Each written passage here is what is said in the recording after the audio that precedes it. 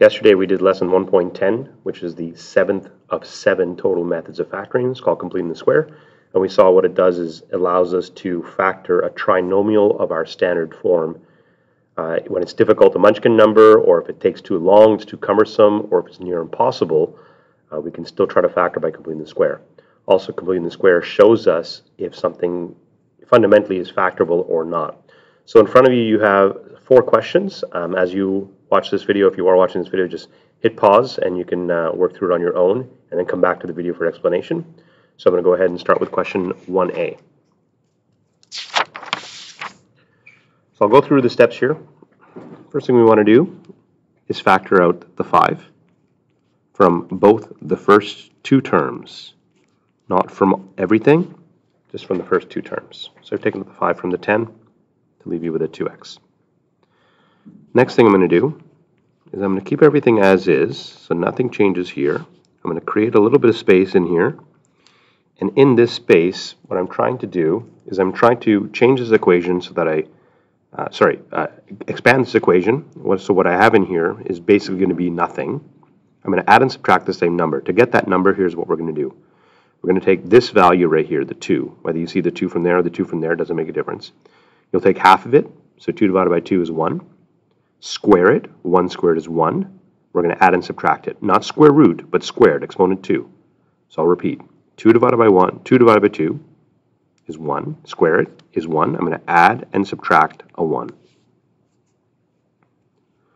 Next, these first three terms here inside the four terms will always create a perfect square. So I'm going to isolate the perfect square. To isolate the perfect square, it means I have to get rid of this negative 1 and kick it to the outside of the bracket. To get rid of the negative 1 move outside, I have to make sure I multiply it by the 5. So I'm going to move it to the outside by multiplying by the 5. 1, negative 1 times 5 is negative 5. I'll continue and just simplify this part right here. So negative 40, sorry, negative 40 minus 5 is negative 45. My next step is I'll factor the perfect square right there. Factor the perfect square, we know we're going to get one bracket with a squared on it. I'll take the square root of the beginning, which is an x, square root of the end, which is a 1, take the sign of the middle term, which is a plus. From here, I now have a difference of squares. I have a subtraction of two things that can be, oops, sorry, I missed a step there. We're going to factor the 5 out of everything. So from this section here and this section here, I'll take out a common factor of 5. This is the double bracket step that a lot of times we forget. Look, I just forgot to do it right there myself. So when I factor out the 5, it doesn't look like anything changes here, but it has. I've taken out the 5. But negative 45 divided by 5 is negative 9. If we're doing this correctly, what we're going to be left with here is a difference of squares. If it's not a difference of squares because I'm adding, it means I can't factor any further. The factoring becomes impossible. But since it is a difference of squares because I can subtract, I'm subtracting two things that's square rootable, That'll give me two brackets. One with a plus, one with a minus. Square root of x plus 1 squared is x plus 1. The square root of 9 is 3. We tidy up the two brackets. x plus 1 plus 3 is x plus 4. x plus 1 minus 3 is x minus 2. A quick check if you wanted to, you'll see you do end up with where you started with. So we're good. I'm going to move on to question B, so you can hit pause if you need to. It's question B. Uh, the number is going to get a little bit harder here, perhaps, just because I'm going to perhaps work with some fractions or decimals. So let's go ahead and try. Again, we're going to take out the a from the first two terms. No matter what it is, I'm going to always take it out.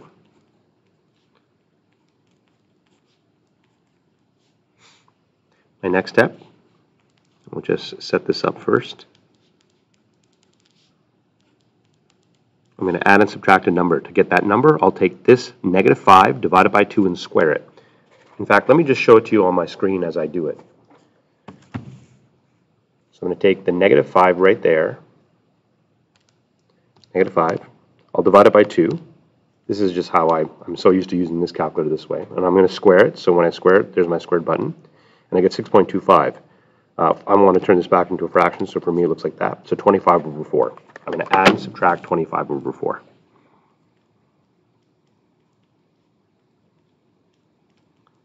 Maybe I should have given myself a little bit more room there. My next step is to kick out this negative 25 over 4 outside the bracket. So this, nothing changes, nothing changes, nothing changes. But the minus 25 over 4 I need to kick outside the bracket. But when I do that, I have to make sure I multiply it by the 3 in front. So negative 25 over 4 times 3 is negative 75 over 4. I'm now going to simplify these two. Now some of you guys will start combining some of these steps as well, which is fine. Again, if you find I'm going too fast, just pause. So I'm just going to keep this perfect square inside here. I'm not going to touch it, although again, you can combine steps. I'll do the negative 18 minus 75 over 4, just so you can see my calculator screen. Um, let's see, negative 18 um, minus my 75 over 4 gives me negative 174, negative 147 over 4.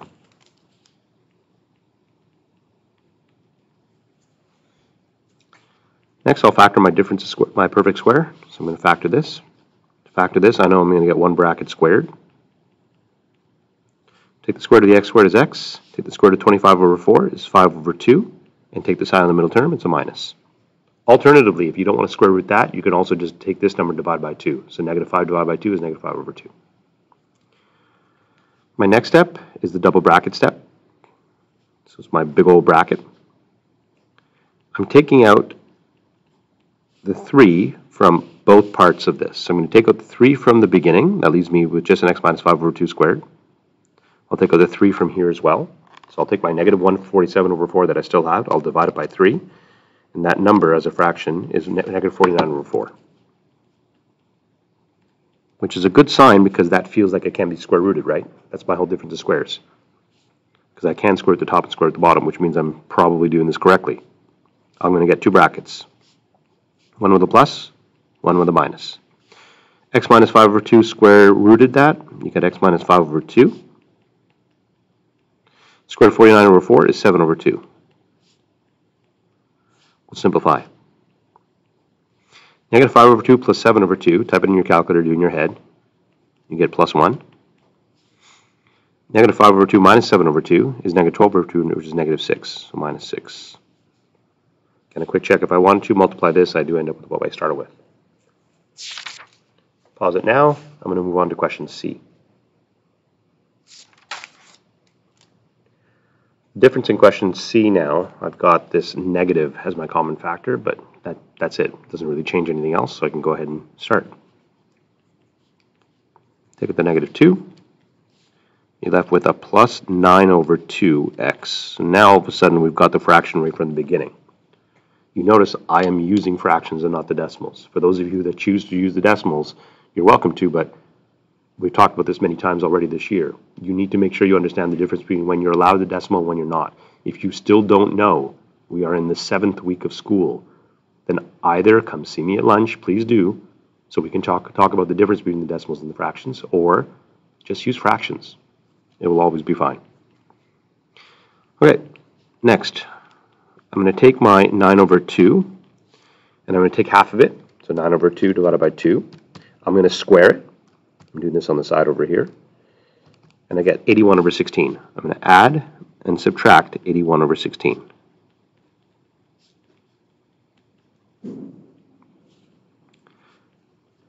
Next, I'm going to keep the first two, three terms, pardon me, because that's my perfect square. And I'm going to kick out this negative 81 over 16 but when I do that, I have to make sure I multiply it by the 2 that's in front. So I have to make sure I multiply by that negative, by that negative 2. So negative 81 over 16 times negative 2 is a, I'm just going to write the 18 there, is plus 81 over 8. Again, I'm not skipping any steps so that you can see exactly what I'm doing. But absolutely, some of you will start skipping some steps. And I would normally skip a lot, skip a lot of steps. I'm probably down to about three steps or so because a lot I can just do in my head or just quickly.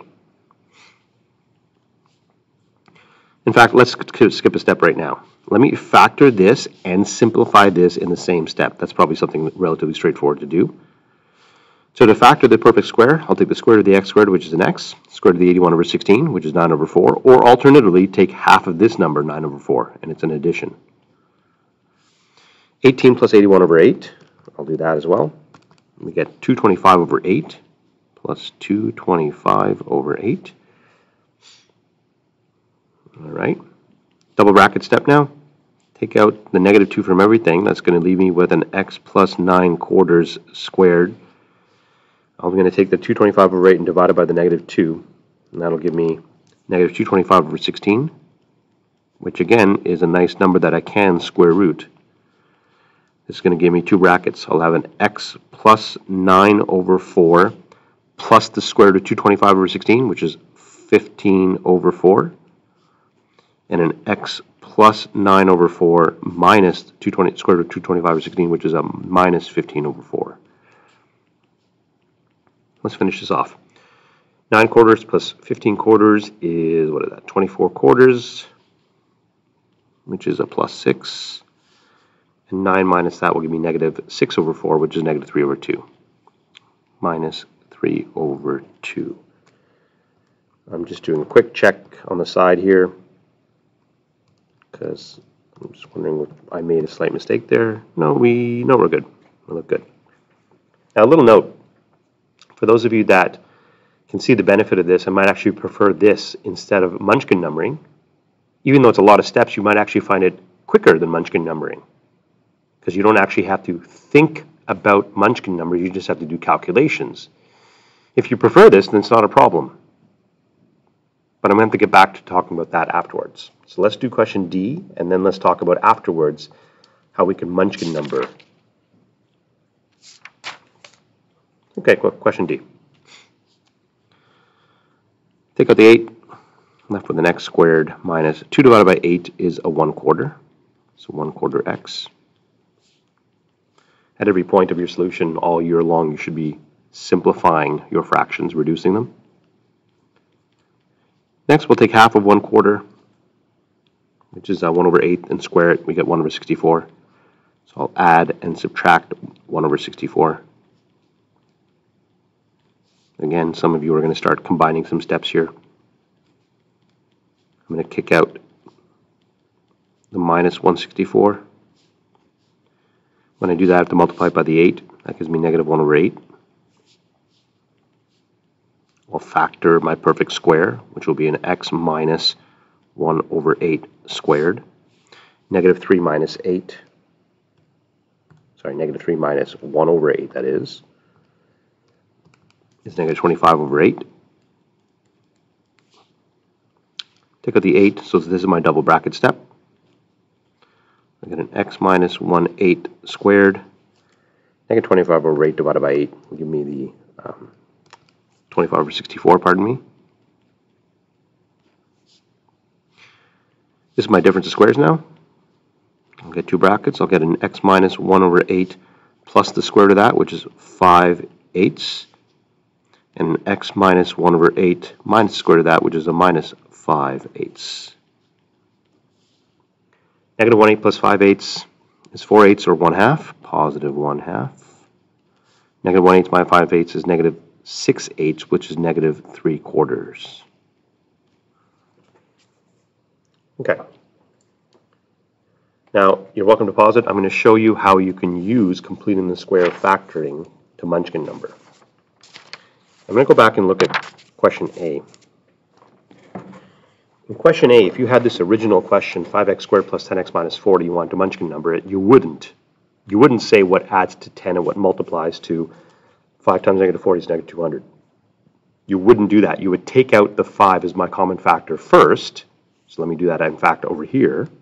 So let me just restart the question underneath so you can just see how this compares. So you take out the 5 first and you'd be left with an x squared plus 2x minus 8. Again, I'm showing you how you would Munchkin number. What adds to 2 multiplies to negative 8. It's a positive 4, negative 2. So positive 4, negative 2. And you get the same answer either way. Now, I would argue the Munchkin numbering is so much quicker. I can almost instantly do this in my head, whereas completing the square might be longer. But it depends. It depends on the person. Some of you may find Munchkin numbering faster than completing the square in certain cases. Some of you may find completing the square faster than Munchkin numbering in certain cases. In this case, I would definitely pick Munchkin numbering over this. Let me show you B. If I do B by Munchkin numbering, I'm just going to rewrite the question over here. Take out the 3, I'm left with an x squared minus 5x minus 6. What adds to give me negative 5 multiplies to give me negative 6 is a negative 6 and a positive 1, so positive 1 and a negative 6. And again, we get the same answer either way. But what's interesting is what happens when you start getting stuff like this. When we've been Munchkin numbering, we haven't been Munchkin numbering really to get fractions inside our brackets here. We've been Munchkin numbering and everything's been whole numbers. But now that we can complete the square and we can see that you can complete the square and still get some crazier numbers, that means technically this was Munchkin numberable. But to Munchkin number this, you notice at the beginning there's nothing in common. So you just have to find what adds to give you negative 9 and multiplies to give you a negative 36. That might be tricky for a lot of people. Or might not. Instead, what you can do is if you look at your final answer, when we Munchkin number, you notice that we typically are supposed to be getting two brackets, and here we're only getting one. It's because this negative 2 can be reincorporated back into one of these two brackets.